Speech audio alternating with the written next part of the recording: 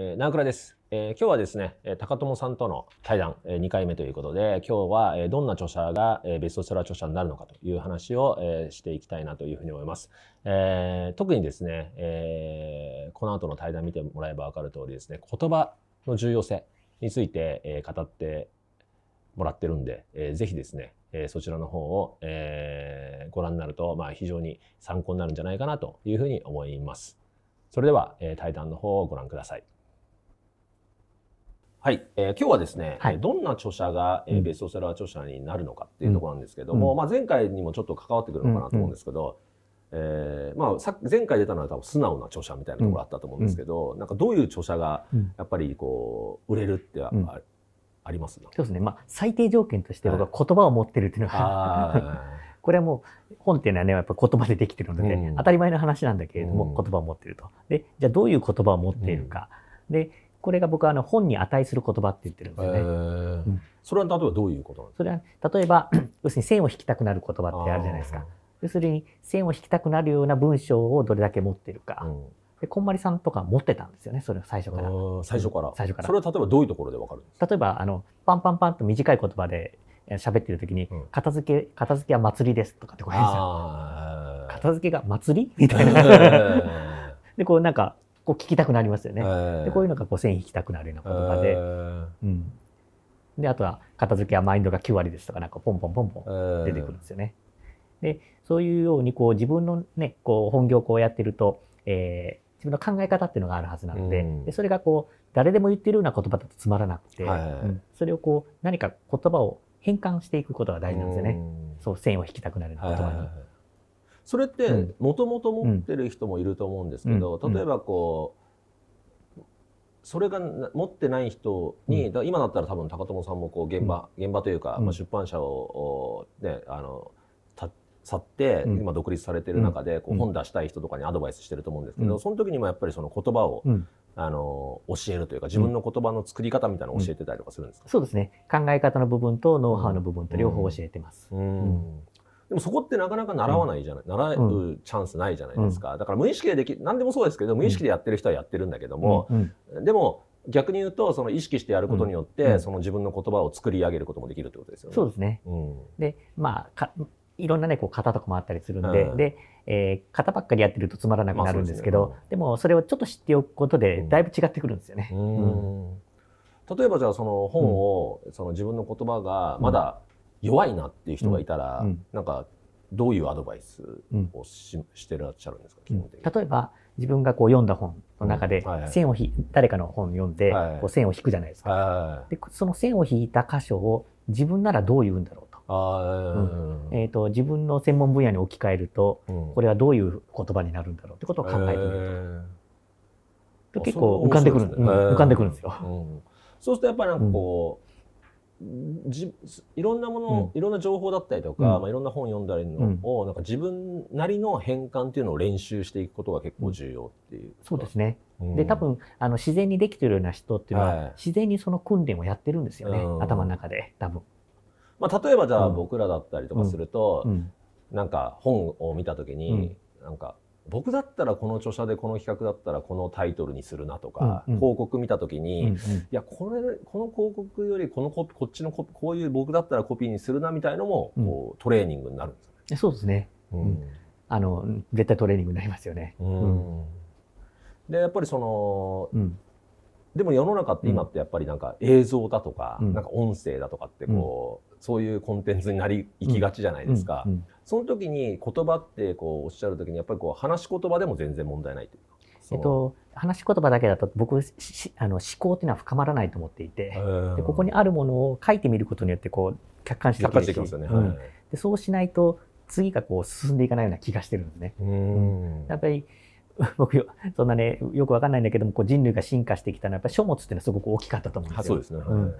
まあ、ずっと口伝でね、こうやっていってもいいんだけども、でもそれ多分発展していかなくて、うん、昔のものがそのまま残っていくだけなんですね。うん、でも書物があったことによって多分いろんな人がそれを読んで発展させていくことができたんじゃないかなと。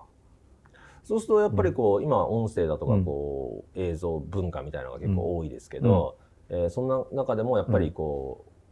ベストセラー著者だったりとか、著者になりたいんだったら、そのまあ別にその映像とかやっちゃいけないという意味じゃなくて、うんやっぱりこうブログだったりとか、うん何でもいいけどやっぱ書くトレーニングっていうのは必要なんじゃないか。そうですね。やっぱり頭の中にもあるものをこう一旦ダウンロードしないと。はい。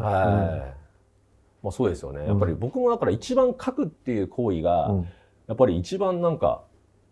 頭も整理されるし、でなんか知識もやっぱりなんかうんない中身がないと書けないんで、うん本読もうと思うし、うんなんか一番のなんかこう自分自分を鍛えるトレーニング思考を鍛えるトレーニングがやっぱ書くことかなと思うんですよね。うんうんそうなんですよね。そうだからあの、ね、みんなこう検索ばっかりしてるじゃないですか。はい まあ検索じゃなくて試作をしなきゃいけないと思ってて。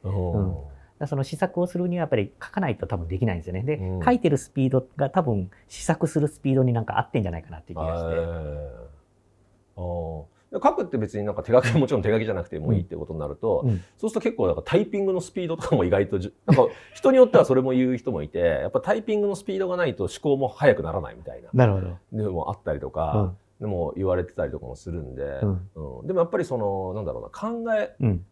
るためには書く必要があると、うんそして書く書書書くような言葉を持つからこそ、うん。まあ、ベストセラー著者になると、うん。なんか例えば別にこれあのなんかひ否定するわけじゃないですけれども、その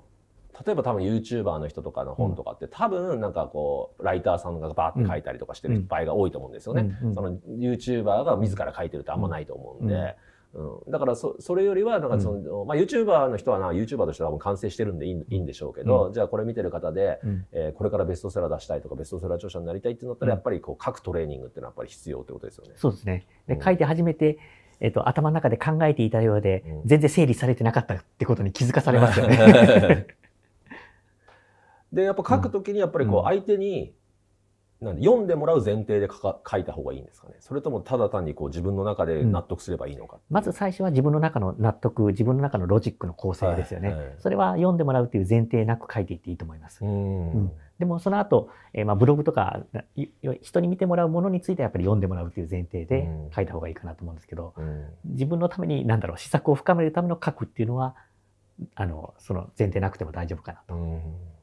うんじゃあそうすると例えばじゃあ、えー高友さんがこう原稿を書いてくれっていう時に、うん。なんかこう著者にな決まりましたと、うん。うん。じゃあ原稿を書いてもらうにあたり、うん。なんかまず最初になんか伝えることってなんですか？ねその、うん。書き始める前に伝えて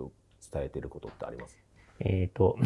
僕はとりあえずサンプル原稿っていうのをまず読んでみたいので、はい。自分が一番得意なところ、書けるところをとりあえず書いて送ってくれって言いますね。あでそれは最初に企画の段階で、例えばじゃあ1章これ2章これ3章これ4章これみたいなある程度決まった段階で、うん。その中で得意なものとか書けっていう感じですか？そうですね。人によっては3章だけが来るみたいな感じもあるってことですそうですね。で、その3章全部必要なわけではなくて、はい。どういう文章を書くのかっていうのを知ってみたいっていうのと、えーその自分が一番得意なはずのところを書いてもらうので、それで、なんだろう、その人のこう最大値っていうかうん、それをちょっと見てみるっていうのと、うん。はい、えー、と今のとかね本当にすげえ本書く人にとっては今日の話とかすごい勉強になると思うんであのぜひね参考にしてもらいたいなと思ってて。でも本当になんだかんだ言って世の中まあ喋りだろうが音声だろう、まあ、うん映像だろうがなんだろうが、うん今 YouTube だろうがなんだかんだ言ってもう言葉がないってことはないんでそうですね。やっぱ言葉の力を持ってる人は、まあ、縦横無尽に活躍できる時代だなっていうふうに思ってるんでそうですね。はい、ぜひですね今日の話だけでも僕すごく参考になるんじゃないかなというふうに思います。はいじゃあ今日はありがとうございました。こちらこそありがとうございました。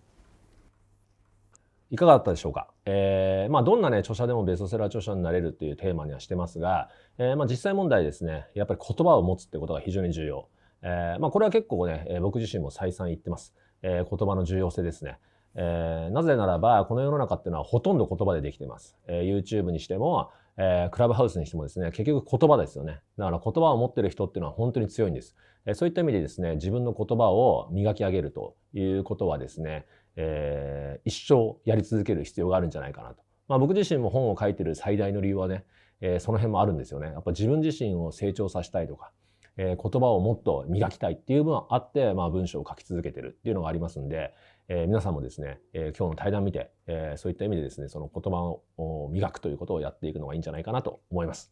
えーまた、えー明日ですね、明日じゃないか。えまた、え次回はですね、えどんな企画がベストセラーになるのかという話を伺いたいなというふうに思います。